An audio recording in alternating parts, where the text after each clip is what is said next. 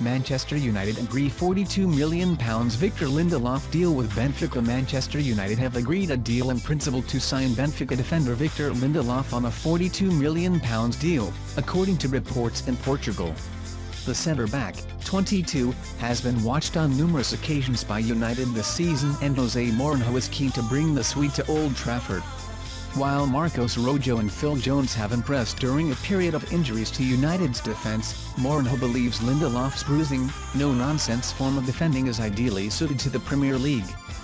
Benfica's president, Luis Filipe Vieira, was in Manchester yesterday to hold talks with the Red Devils and the two parties agreed on a £42 million price for the defensor, according to Record. The report claims that a deal for the defender is almost finalized and Lindelof will travel to Old Trafford in January to link up with his new teammates. Mourinho spent £150 million during his first summer at the club, including a world record £89 million on Paul Pogba. Lindelof's £42 million move would see him become the third most expensive signing in United's history, behind Pogba and Angel Di Maria.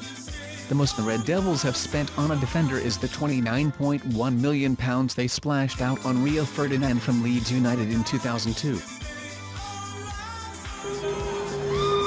Check out these other amazing videos. Subscribe to our channel. Don't forget like, comment and subscribe. Thank you so much. Subscribe now.